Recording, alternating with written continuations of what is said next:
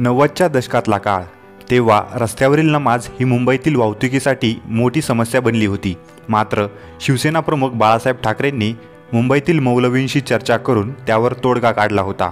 तसंच युतीची सत्ता आल्यानंतर रस्त्यावर नमाज पडण्याविषयी तत्कालीन मुख्यमंत्री मनोहर जोशी आणि उपमुख्यमंत्री गोपीनाथ मुंडे यांच्याबरोबर चर्चा केली होती.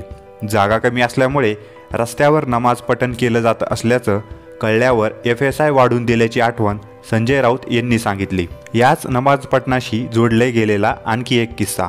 एकदा मेहमूद शेख नावाची व्यक्ती दिवंगत शिवसेना प्रमुख बाळासाहेब ठाकरे यांना आपली अडचण सांगण्यासाठी व शस्त्रक्रियेसाठी मदत मागण्यासाठी मातोश्रीवर आले होते.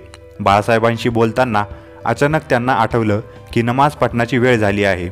मेहमूद शेख यांची अस्वस्थता ओळखून बाळासाहेबांनी त्यांना मातोश्री बंगल्यातच एका खोलीत पाठवलं. तिथेच मेहमूद शेख यांनी नमाज पठण केलं होतं. राष्ट्रभक्तीने उत्प्रोत असलेले आणि देशाची बांधील असलेल्या मुसलमानांचा आपण द्वेष करत नाही पण पाकिस्तान धार्जिन्या मुसलमानांना धडा शिकवणार असं बाळासाहेब ठाकरे म्हणाले होते. माझा सांबीर मंत्री होता असं बाळासाहेब अतिशय आत्मीयतेने मेहमूद शेख यांच्याशी बोलले. हा किस्सा अनेकदा ज्येष्ठ मंत्र्यांनी आपल्या भाषणात सांगितला आहे